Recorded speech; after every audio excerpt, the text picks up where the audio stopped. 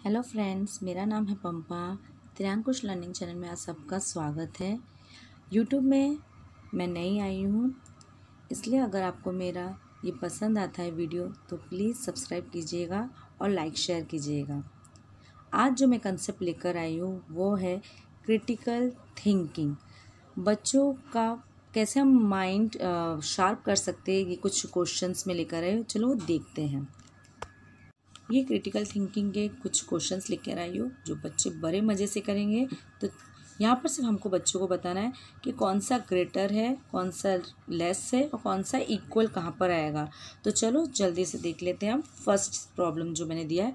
वो है one month next दिया है मैंने फोर वीक्स अब इनमें से कौन सा बड़ा है? फोर वीक्स यानी twenty eight days one month यानी थर्टी थर्टी वन डेज़ तो कौन सा ग्रेटर है?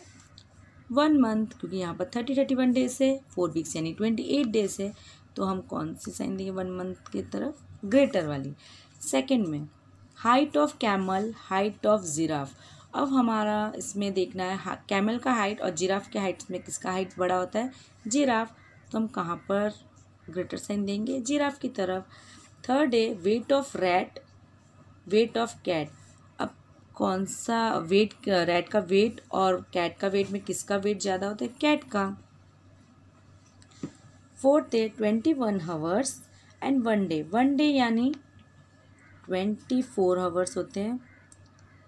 और यहाँ लिखा हुआ है ट्वेंटी वन हावर तो ट्वेंटी वन हावर और वन डे में कौन सा ग्रेटर होगा? Twenty four hours one day जिसमें ट्वेंटी फोर हावर्स क्योंकि एक दिन में ट्वेंटी फोर आवर्स होता है, चौबीस घंटे होते हैं तो ये ग्रेटर रहेगा फिफ्थ प्रॉब्लम देखते हैं। Ten rain drops one cup of water कौन सा ज़्यादा होगा? Ten draw ten rain drops means कितने ऐसे दस बूंदे। और वन कप ऑफ़ वाटर तो कौन सा ज़्यादा होगा? One cup of water six में देखते हैं। One hand span one cubit hand span means हमारे हाथों की जो हथेली होती है, सिर्फ़ उतना पोषण। और वन क्यूबिट मीन्स हमारे एल्बो से, हमारे हाथ का जो एल्बो होता है एल्बो भाग, उस एल्बो से, उस एल्बो से लेकर जो पूरा हैंड स्पैन तक होता है, उसे बोलते हैं क्यूबिट तो कौन सा बड़ा हुआ? क्यूबिट और हैंड स्पैन छोटा हुआ तो हैंड स्पैन की तरफ़ लेस और क्यूबिट की तरफ़ ग्रेटर अब देखते हैं seventh fourteen days two weeks fourteen days means fourteen fourteen day two weeks means भी फोर्टीन डेज़ ही होता है। तो फिर क्या होगा यहाँ पर? इक्वल कोई ये भी फोर्टीन डेज़, टू वीक्स भी fourteen means equal sign six में एट प्रॉब्लम जो है वो है सिक्स फ्लावर्स फोर फ्लावर्स तो कौन सा ग्रेटर है? ऑब्वियसली सिक्स सिक्स ग्रेटर है फोर स्मॉलर है। नाइन्थ प्रॉब्लम नाइन्थ प्रॉब्लम में देखेंगे twelve balls one dozen twelve ball means twelve, one dozen means twelve, जैसे हम बोलते हैं, एक डजन केला, एक डजन बनाना, एक डजन एप्पल मीन्स ट्वेल्व। तो डैट मीन्स ये दोनों भी क्या होंगे?